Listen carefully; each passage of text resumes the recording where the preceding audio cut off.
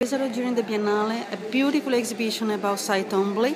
Here we have the curator, Philippe, that will tell us about first this splendid rose that we have behind him and uh, the exhibition itself. Please. This is a late painting by Cy Twombly. It's a very beautiful painting and it um, is one of the works that maybe inspired the title of the show, which is Paradise.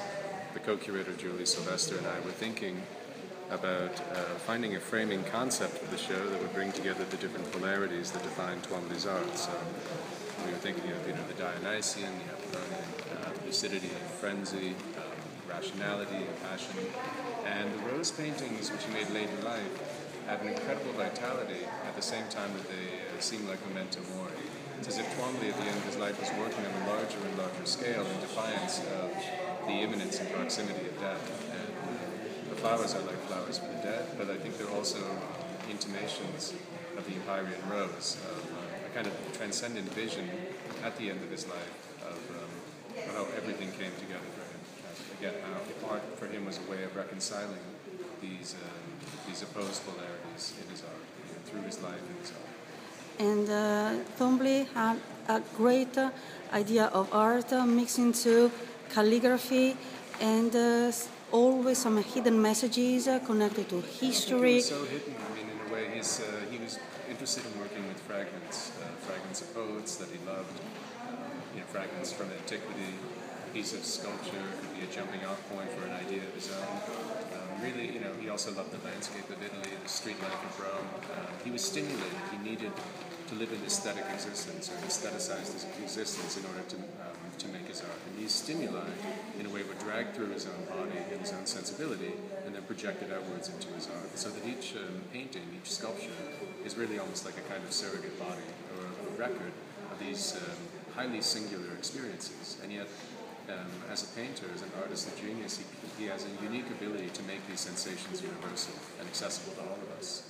But he's considered very difficult in the sense that sometimes it is uh, very complicated to understand the meaning of what the meaning of what he wanted to paint Well, or he wanted to describe. He never left. He began as an abstract painter, and he never left abstraction behind. And so, in a way, the relationship between abstraction and figuration, this is another one of the defining polarities of Twombly's work, um, is something that often renders it um, more mysterious and maybe more forbidding. It seems perhaps maybe even more intellectual than, um, than would say, the art of Warhol. Something that's directly involved with popular culture. And yet, I would say that Twombly's work is immediately accessible at the level of the senses, and it's something that anyone with an open mind can appreciate. It's really, I think, the, the sense of the sensuous presence in his work, and the way in which he relates that to moments in the past, to you know, art history, you know, the history of antiquity, Greek mythology, even Italian history, is a way of um, opening up his own particular sensations and making them again universal.